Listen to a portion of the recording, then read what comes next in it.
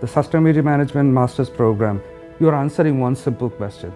Do you care about your future generation? Know, if you care about your kids, their kids, their grandkids, then you care about sustainability. And a sustainability manager is someone who has the tools to make people understand how they can contribute towards developing a sustainable world. We have both part-time and full-time students. Our curriculum is 30 hours. Instead of thesis, we have a research project course and a seminar course which provides them with the kind of research background they will need to be successful in their job. At the same time, sustainability is not always everything about environment. It also relates to the business. They will take a sustainable business strategies course, they will take a project management course. Most of these courses are going to be taught by industry people, the people who are doing sustainability on a daily basis as a part of their job. Any organization that has a large number of employees and has a physical infrastructure, they will have to have a sustainability office. If you have the passion to develop and maintain a sustainable world, come to us and we will help you shape your passion into a career which will create an impact.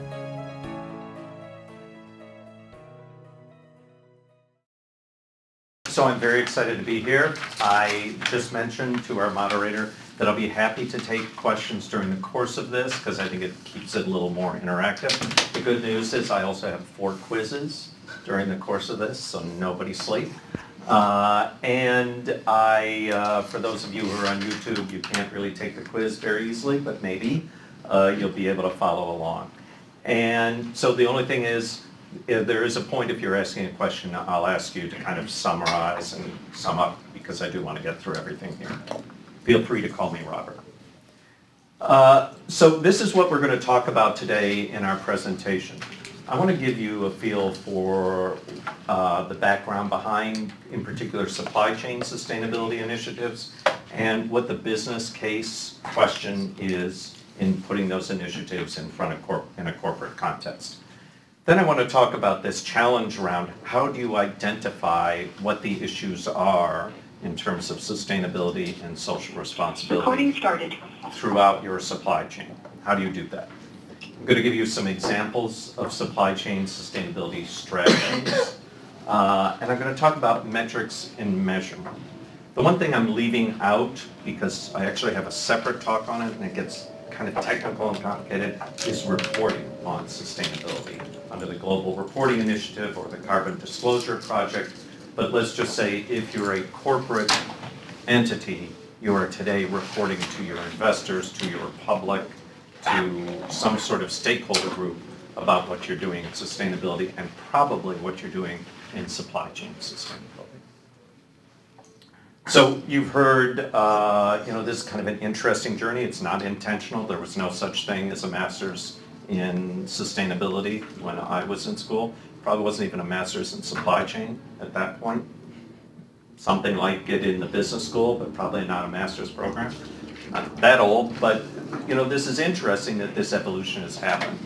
Uh, I actually started as a lawyer, so one of the things that we're going to talk about today is risk. One of the things that companies focus on in sustainability and social responsibility is reducing risk. So if you think about it, lawyers are very risk-averse people. They're trained to be, uh-oh, don't do this, don't do that. So it's an interesting part of my perspective that I bring to it. And I've actually had to teach myself as I work with clients. Don't always focus on risk. Don't always focus on risk. Think about opportunities. Don't always say no. So I did run a manufacturing company that was in deep doo-doo uh, when I got it for uh, what I thought was going to be five years, and I was there 11 years. And I chair this uh, committee of uh, uh, practitioners inside large corporations in the Institute for Supply Management. And they're all either chief sustainability officers or chief supply chain sustainability officers, and I chair that committee. So let's talk about the background. And, and so for people who are steeped in supply chain, this is pretty obvious, but I do want to give the context for sustainability and social responsibility, because it's something different than what goes on in building sustainable buildings. So supply chains are comprised of interrelated activities. So there are what I call, what a lot of practitioners call nodes on a supply chain. And in Europe, supply chain means forward and backward, but in the US, it's generally backward, what comes before you. We use value chain here to mean the whole thing. But I don't care which way you're looking, upstream or downstream, there are other actors that do things, and they're interrelated because they either supply you or they are your purchasers, they purchase things. And in some cases, there are thousands. Before everybody entered the room, I talked about my colleague at Northrop Grumman who builds planes that have over a million parts. And he is the head of supply chain there, and they have 17,000 suppliers. So when you think about the sustainability challenge through that supply chain, the scale is something to remember. Um, three points. Every company is both a supplier and a customer except those folks that are all the way at the end. If I'm the extractives company, I don't have a lot of suppliers. I have equipment suppliers and some finance people and that sort of thing. But I'm really supplying everybody downstream. Um, and product lifestyle, we call something cradle to gate or cradle to cradle when you think about how's it moving through that. So if I'm company X, let's say Ford Motor Company, and somebody tells me, I'd like to know your cradle to gate greenhouse gas emissions. That means the stuff that came before you until it got to your factory gate. It doesn't mean what happens afterwards, but cradle to cradle does. It means what happens afterwards. And these are important concepts in sustainability because it's about who has the responsibility in the supply chain for the environmental and social impacts. And if you say, I want you to be cradle to cradle responsible, that puts you in charge of a lot more things. That makes sense? Yeah. Uh, so once again, the people who are in the extractive industry are way at the beginning. You know, those people who are either mining things or agricultural companies or uh, people who are uh, silk farmers, you know, at the very beginning of those things, those people have a unique position, and I'm not saying if they got it right, everything else would fall in place. But those people have to get it right from an environmental and social point of view. Um, and the retail and business to business people have this unique uh, viewpoint because they see the consumption model. They see what the demand is. They see what the consumers, even if it is a business consumer, are interested in buying. And they'll be able to say to the producers of the things that they buy and put together in their own products, hey, our consumers are telling us that they don't want X in their product. What can you do to change it? So one of my first conversations that did not go well actually with, was with America's largest paint company, and they didn't hire me. But they produced at that time zero environmentally conscious paints. This was probably 2008. And they wanted to get into environmentally conscious paints. And I don't know what their whole history is. Paint is basically water and chemicals. It's a problem, hard to be environmentally conscious. But today, I've been watching, and their number one ad on television is about environmentally conscious paint, sold to consumers, not businesses. So they heard the signals from the consumption folks saying consumers want that. So the business case is really important. It's you as a manager going in front of your boss or the CEO going to a lender or to an investor saying, hey, we want to invest in sustainability. And in particular, we have some things that are focused on supply chain, which by the way, nobody other than geeks like us know about. Um, and we want your money, or we want resources of people, or we need to collaborate with other companies, and I'd like you to okay it and green light it. And you're going to get peppered with tons of questions by whoever that person is who has to say yes. So what are the two things in supply chain sustainability really stick? Number one, is risk management. So how do we avoid negative environmental impacts? back up the supply chain. Bosses are interested in hearing about that. The world is still, no matter what politics there are or anything, the world is still generally very concerned about climate change, water, waste. That's not going away. Those things need to be addressed. And leading companies still are addressing those with lots of money and expertise. And not really so much out of the do-good feeling, but they don't want something bad happening. Similarly in social impacts, you know, I, I peg a lot of my work uh, in social impacts back on the Rana Plaza factory collapse in 2011. You do not want to be buying products that were responsible for 1,237 deaths. That just is not the way the world can go. And so there was something wrong in the working conditions, the monitoring, the business model there. Companies don't want that, consumers don't want it. So social impacts, labor, working conditions, slavery in supply chains, those are all today very large impacts. And then there's this governance issue of, you know, are we financially and ethically sound? Um, you know, there's Twitter today. You make one mistake and it'll be tweeted. And your risk is that consumers will flee. So number one, reputational risk, brand risk. You know, we saw your t-shirt on the Rana Plaza factory floor and it was tweeted everywhere. Um, supply risk, we've chosen the wrong supplier who gets in trouble with a legal compliance issue and they're shut down and now we can't get the widgets that we need. Uh, and then legal risk. You know, there is a question that some courts in the world might start holding brands accountable for slavery and human rights abuses as a legal matter. To date, no. There's only direct relationship accountability. But the world may move in that direction and you don't want to be the company that's found in that. But it's not just about risk. It's also about creating opportunities. And I, I, you know, I'm, so I'm the lawyer, I'm the risky, don't do it, don't do it. But it is essential that companies start to think about what are the opportunities in our supply chain? What do our suppliers know? Are they better than us? can we go to our suppliers and say, if we wanted to come out with a green product, could you help us? Could you help us, um, you know, make some sort of an innovative product that would create a new revenue stream for us? Could you help us reduce costs?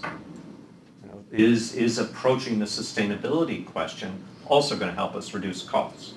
Uh, what about value capture? Big deal today in particularly high value product supply chains. Environmental issues of thrown out materials are paramount concern. Electronics leaches, there's strong regulatory le leaches when it's rained on, if it's in a landfill. There's strong regulatory regimes about this. You want to get rid of that compliance issue. But there's also money in thrown out electronics. And as resources become more scarce, commodity prices are going up. So you want to get the tin back out. You want to get the gold back out, the palladium out of electronics. Those things have value instead of throwing them out. And the other thing is, you all want to get employed. And survey after survey shows that young people don't want to work for companies that aren't paying attention to sustainability. So you can differentiate yourself you know, we're the green company. You could innovate with suppliers. You can collaborate with others or industry groups, and you can share value up and down the supply chain. Good news is, it's time for our first quiz. So I'd like to open the floor to have, I have six examples here. We don't have time to go through all. I'll pick three. And I want you to match the scandal with the type of risk it represents. So let's do Rana Plaza. Okay, skip the VW thing. So somebody shout out one of the types of risks that Rana Plaza. Does everybody know what the Rana Plaza factory problem was? No. So garment producers in uh, Bangladesh uh, were awarded a Walmart contract and contract from others to produce t-shirts. They took it knowing they didn't have the capacity to sew that many t-shirts. And they offloaded part of that order onto a company that was on Walmart's no-no list because it had been in bad shape before. And it was located on the eighth floor, which was built illegally, of a uh, uh, factory kind of in the central part of Dhaka. And it was, it was teetering for years, and there's all sorts of corruption, and, and I don't know how the guy, the owner got the factory built up to eight stories, but it collapsed during working hours, and 1,237 people were killed. And somebody snapped a picture of a Walmart t-shirt. What type of risk is that to Walmart? Reputational. reputational, brand. Like I said, probably not legal risk at this point, but maybe someday. Uh, Coca-Cola. Coca-Cola bought Honest Tea. Honest Tea is this groovy, kind of sustainable, recycled uh, glassware uh, business. What is that? What is Coke doing by buying Honest Tea? Differentiation. differentiation. Right. We're Coke, but we've also got this groovy kind of thing. Um, and finally, Intel, the chip producer. So they led a- an industry group, this is the Electronics Industry Citizenship Coalition, to try to tease out what the problems were in conflict minerals. Who knows what conflict minerals are? Uh-oh. So there are four minerals that are mined primarily in this world in the Democratic Republic of the Congo, a very nasty place. People are beheading each other, there's rape that's basically part of the culture, and there are these warlords that own the mines. So you do not want to be buying from the warlords. Unfortunately, that's most of the mines. And guess what? You can't tell one piece of tin when it's coming out of the uh, earth from the other one. So you don't know which was mined in a good mine or which was a warlord mine. Because you, Intel, are buying from a broker which just says, I bought you 15 tons of tin. Oh, could you get the one that's the good? Oh, no, we don't know. So they went out and they started to work with the industry to tease out, how do we know which is which? By the way, they do know now. So what's that? Collaboration. Okay, good, everybody's aware. Okay, how do companies identify the risks that they have in their supply chain? The universe of these risks is really large. It is astounding, and nobody is gonna go, just like they're not gonna go through their whole supply base on day one. They're not gonna say, we're gonna start a sustainability program that in five years has tackled every one of these issues. If you say that, you're absolutely nuts and you're lying to somebody.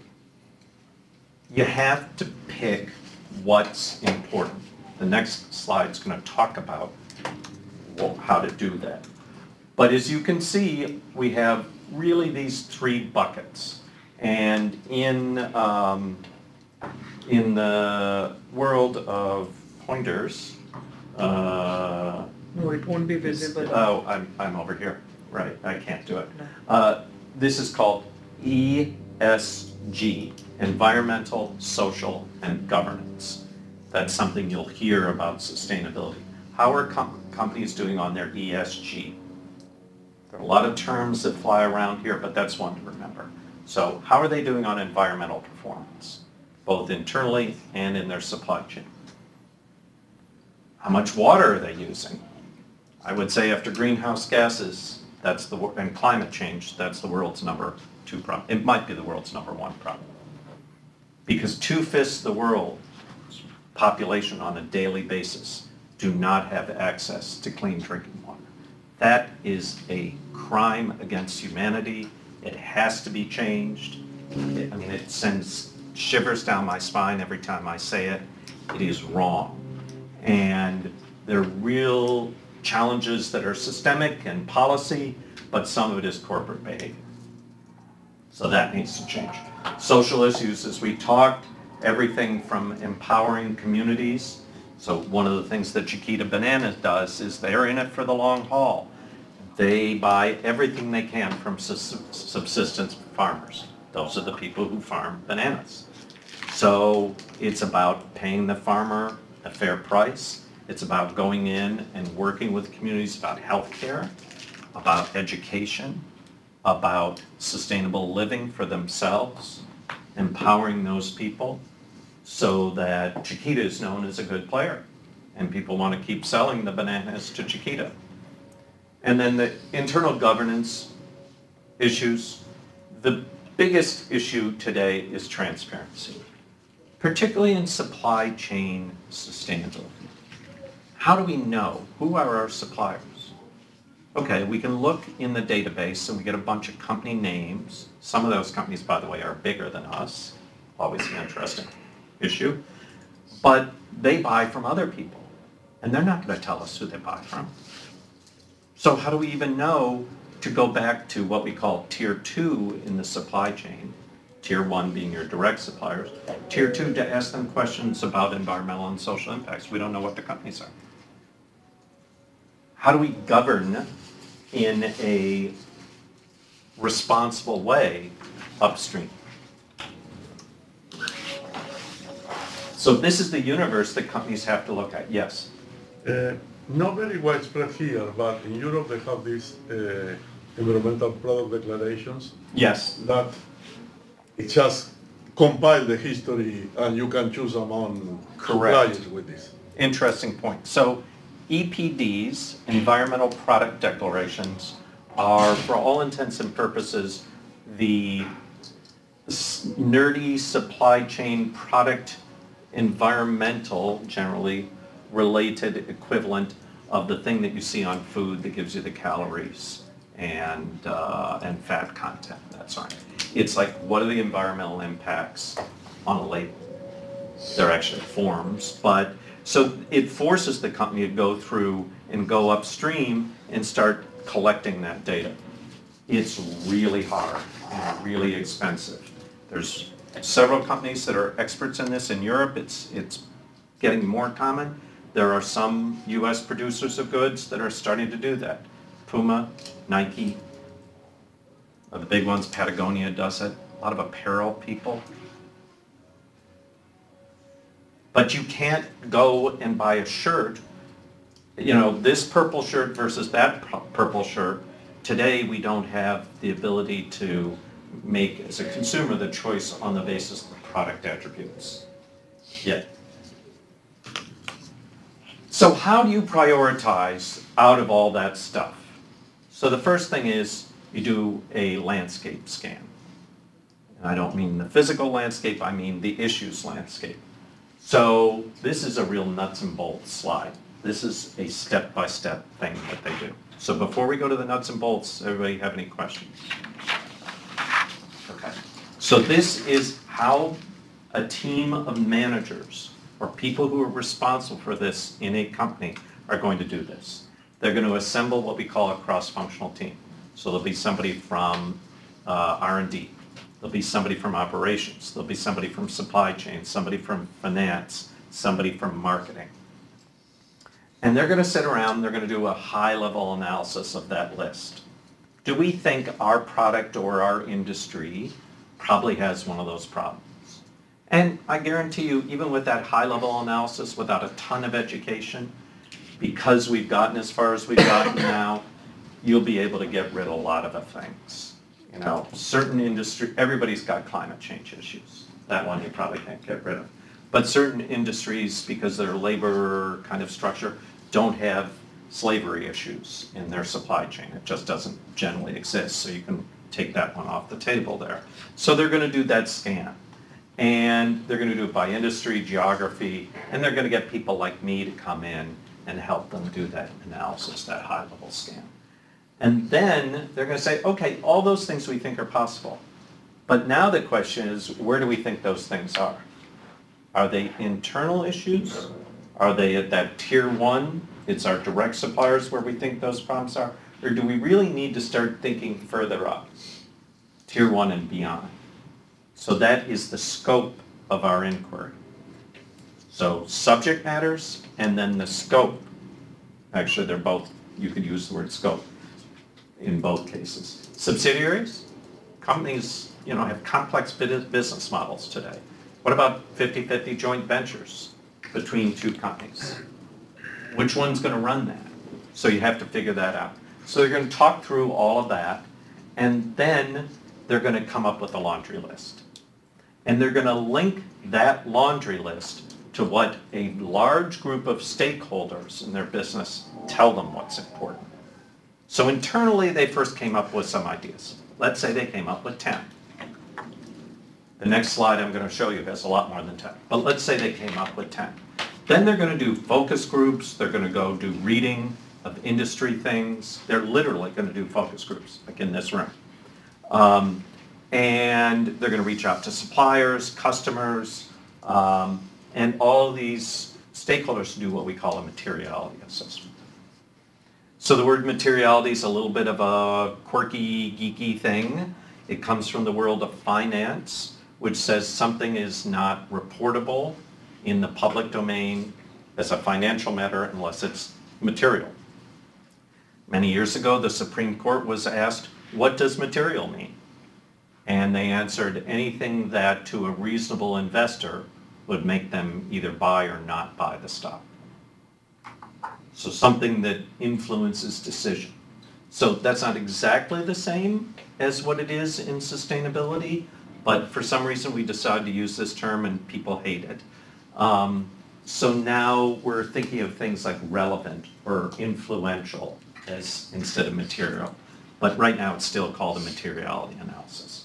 So they're looking for um, stakeholders to weigh in on their list and say, we really do care about greenhouse gases in your company and in your industry. So guess what? You ever screw up on that, we're never buying another one. If you're not disclosing it, we're not going to invest in your company. They'll get all this feedback.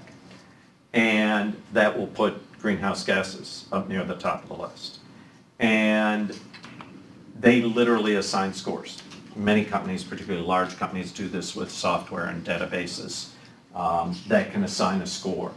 And they will slice and dice that at the end of the day, and they will come up with what's called a materiality map, which this one unfortunately is small, and it's going to scare the hell out of you because there's all this stuff going on. But basically what we have here is a grid that maps all of those issues on how important it is to stakeholders to how important the internal team thought it was the business. Because part of their first landscape scan is also assessing from the internal group. This is probably there, but if it were, it's not so important, or it is important. So it's a matrix issue. So I know you can't read these, unfortunately, that's just the, the situation here. So here's one that's called ethics and integrity. Kind of a sustainability issue, it's akin to it. It's how ethical are you as a business and what's your business integrity like? Do, are you trans, well, transparency is probably different, but, you know, do you cheat on your taxes kind of a thing? And so they said, you know, importance to the business, not very far out. But stakeholders said, oh, yes, it is. So it ends up in this quadrant. So you start mapping these and you put a quad on there and you get four quads. Quad one is stuff, and you use a different strategic approach to each of these quads. You get your materiality map and you say, now we kind of have an idea of where, how, where these issues play out. Because we've got to figure out where to work first. We can't tackle all this. Well, guess where you're working first? Quad four. This stuff's both important to your business success and importance to your stakeholders. So these dots over here, energy use, uh, product design, energy efficiency, social and environmental issue. This is an actual company. Um, education, recycling, greenhouse gas emissions, compensation, network and data security, Uh, This happens to be Vodafone, the uh, British telecommunications company. That all ended up in here. Disaster response, you, you might think, oh my God, you're a telecommunications company. What if, you know, all your towers blow up? You better have a good disaster response. Company kind of thought that had it covered, but like I said, the stakeholders said, we don't want our phone lines to go down, so you better be paying attention to it. So here, you keep these people satisfied. I'm not saying you don't do any work on that issue, but out of all the things that you work on, you do less, and you'll devote fewer resources to it, at least right now. And you need to keep doing these. The world's static, your business changes, you may acquire another business, you may get out of a business. You can't do this once every 50 years. It's probably once every three-year exercise. And if you're a really smart company, you're doing this constantly.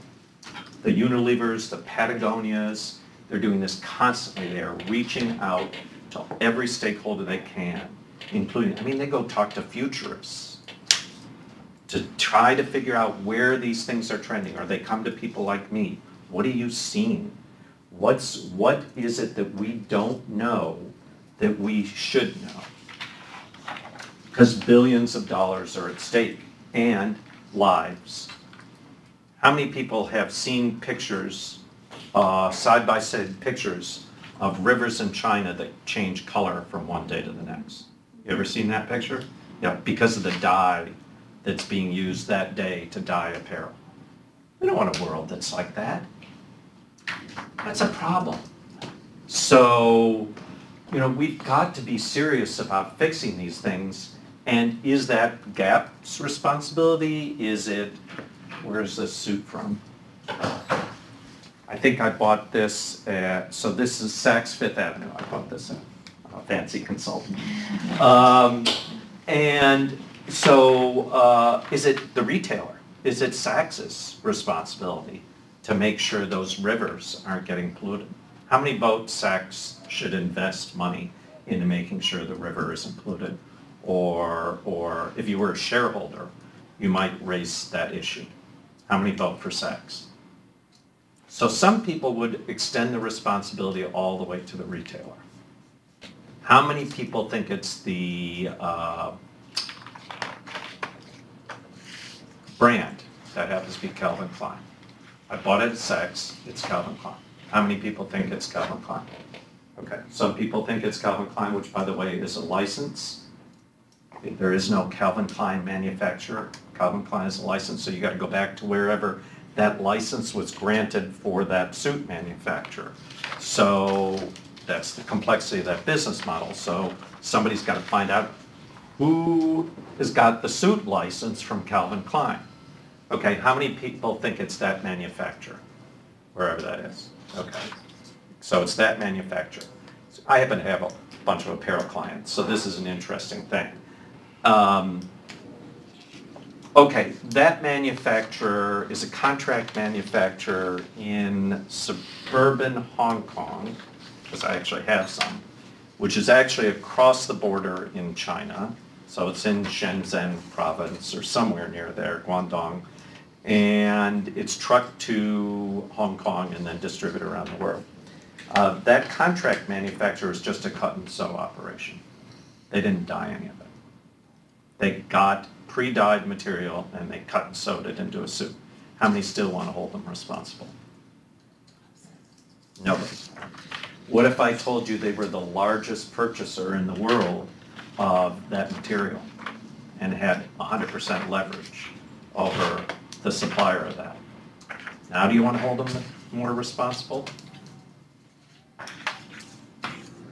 How many people think that I could call Saks and ask them to go back to the, uh, to the mill where the product was made, the fabric was made and dyed, and uh, Saks could actually know which mill that was. Because you're right, they don't. Big, big brands sometimes have long-standing relationships and they call out. But in general, they don't care where it comes from as a business matter. They spec a certain thing. General Motors wants a bolt for the car. It can come from you, me, anybody. It has a specification, it has a price. This is the way we've done business for years, price, quality, delivery. Now you're saying environmental and social. Uh-oh, we've never asked that. How do we start finding out back up there what's environmental and social? So we're gonna work here, we're gonna monitor here, uh, we're gonna, here we're kind of monitoring things. We're gonna lightly monitor what's going on here. Over here, we better closely monitor because it matters to our business a lot.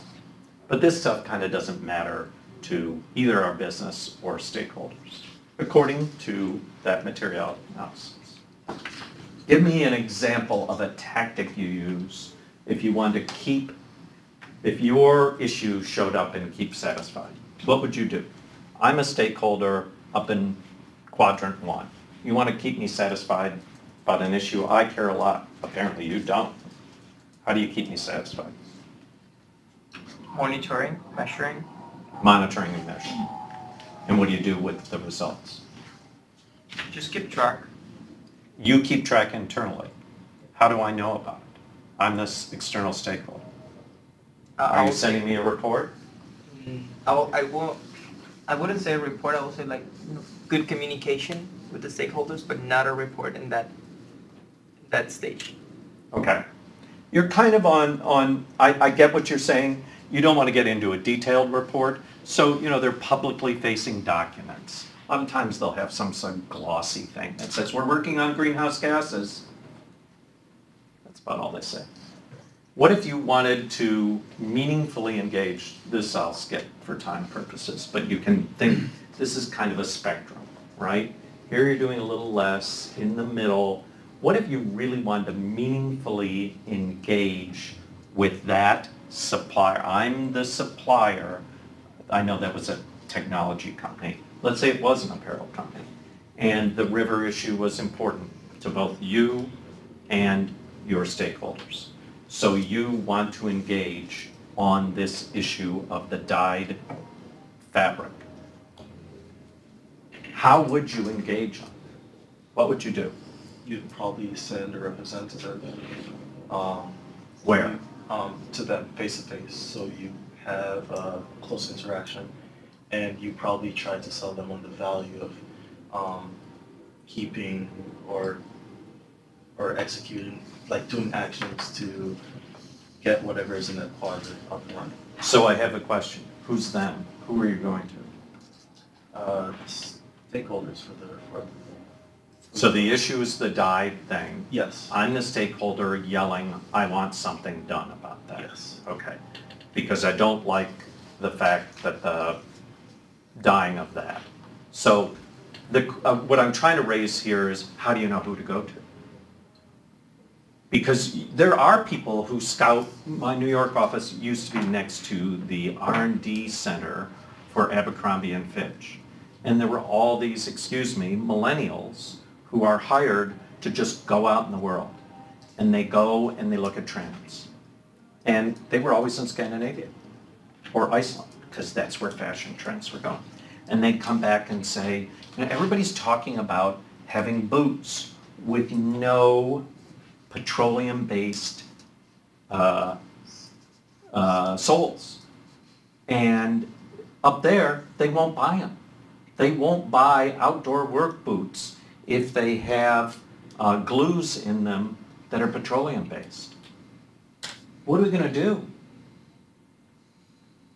You know, there's somebody in Abercrombie and Fitch who's like a product person around boots. By the way, they license boots, so they didn't make them, so that didn't work. But they gotta go find the person who's gluing the damn thing on the bottom. They don't know who that person is. So you gotta go way, way back, and that's the transparency problem. You don't know. So Abercrombie might not be, if you're the stakeholder who's crying foul about this, and you're calling Abercrombie because you don't like the boot, you're an Icelandic person, and you don't want to buy that boot, but you love Abercrombie, and you call Abercrombie and say, stop selling boots with that glue in it. And Abercrombie's going to say, we'll try, but we don't know who puts the glue on. And it's a legitimate issue. But you're right. The idea is to get to whoever that is and meaningfully have a conversation about, you could sell a whole lot more boots, Mr. Shoe Gluer, if the glue didn't have toxic stuff in it. So one of the ways it does that is that EICC example, industry coalitions. Everybody gets together and pulls their resources and starts to go upstream. Because they all kind of share the same suppliers. Guess what? There are only so many people in the world that make shoe glue. And they'll figure it out. But probably one company can't. Industry coalitions are an example of a tactic that you use for meaningful engagement. So how do you, sorry, examples of supply chain sustainability strategy, I've given you a few, but let's talk about a few more. So number one is codes of conduct. You have a written document with your supplier that says, do this and don't do that. And if you do what we didn't like, you're probably going to get canned at some point. Nobody cans them right away because it becomes a big problem. How do we get it from somebody else? But it's a supplier-facing document that calls out the expectations. Don't pollute, don't violate uh, environmental laws, no slavery in your supply chain, uh, keep on top of uh, living wages, blah, blah, blah. There are a lot of companies that don't have these. Surprise, surprise. The leading companies have them, but I'm out there writing co- codes of conduct for companies that you would think would have them. They don't have, they haven't communicated their expectations to their supplier group. But once they do, that puts in start, start in place, first of all, they have to sign them. Oh, now I have a legal obligation of some sort. Um, and there's some minimum callouts, usually don't violate laws, but sometimes they're a little higher. And then you also put that same language in every request for a proposal that you send out. If you can't do that, don't bid. And by the way, when you go to sign the contract, it's also in the contract. And legal in your company as a supplier will get the contract and they will scan through it and say, hmm, has anybody looked at this paragraph about what it's requi- requiring us? Oh, no, we haven't. Oh, no, we can't do that. We can't sign that contract. Trust me, it doesn't happen at that point. They will have looked at it. Um, so you start to put it in all these gateway mechanisms about who you want to do business with. The other thing you do is manage your suppliers against those expectations.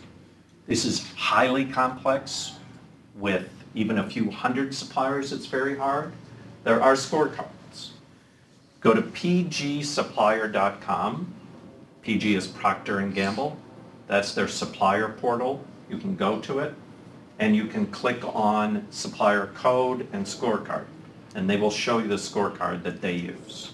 And they will show you, it, it- the one that's up there is an example, and it has numbers. They will not show you the algorithm of what their internal expectations are and how they came up with the numbers. That's the secret sauce. But they will show you, okay, here are the 10 things that we measure our suppliers on. And they have it there on public on, uh, on public display on purpose so that suppliers who want to do business with P&G know what they're in for. Plus, P&G has given that scorecard away to every company on the planet. That's kind of interesting. I'm a supplier. Every year I'm going to get called in and I'm going to get a 95. I was a supplier to a very large wholesale company. I got a 96. I was the CEO and they called me in.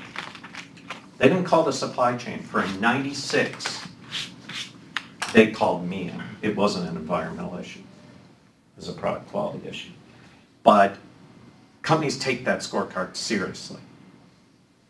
And their thing was you get to 99 within a quarter or you're no longer a supplier and we'll get that product from somebody else.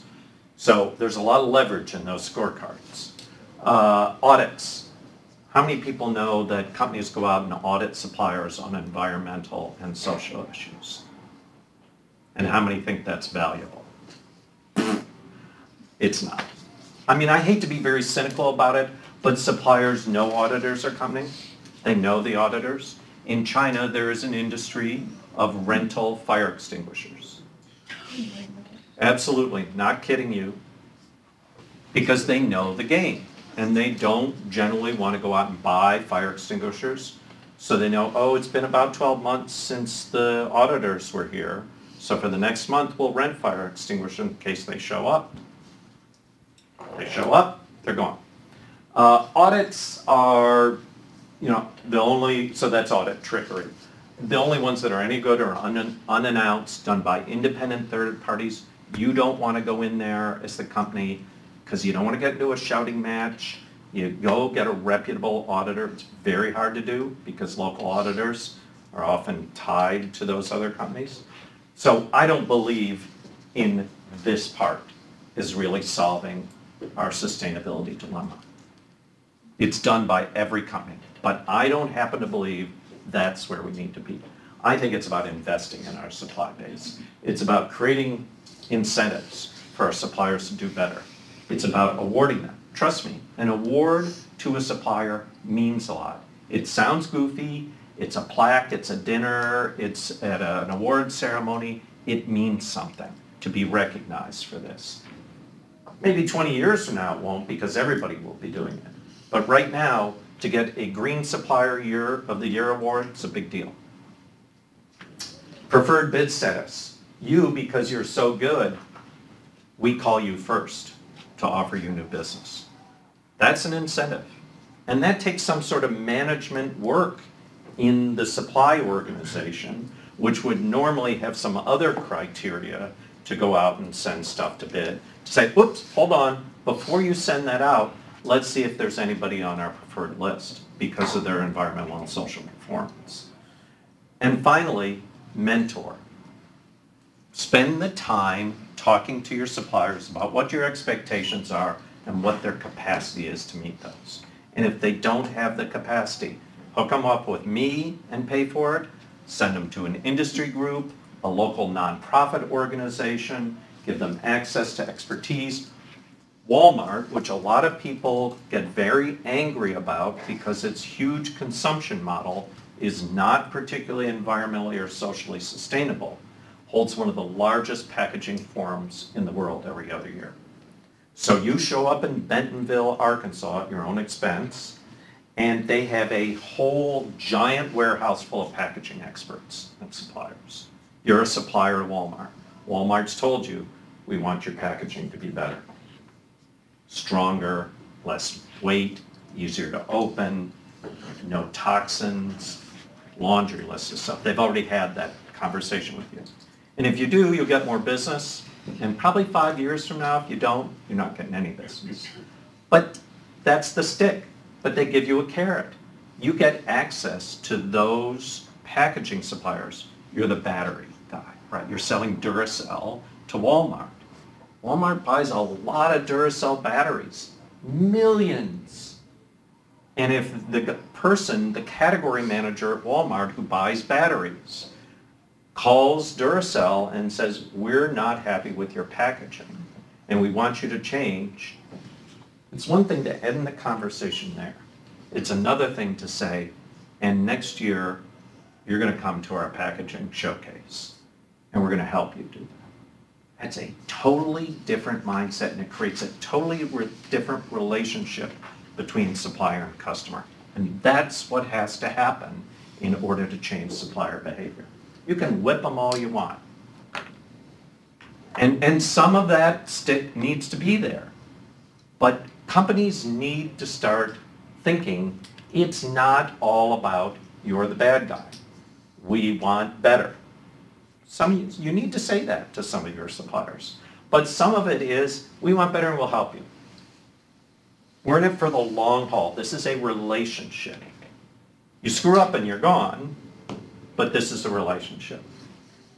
Two key things that are happening, and this segues into this, is something called responsible sourcing. So at the beginning, we're going to go out and rather than buying from everybody, we're going to responsibly source. We're going to say what matters to us, and we're only going to look at suppliers and their goods and services that matter to us. So there's a lot of upfront work defining what that is. but we're going to avoid suppliers that have known risks.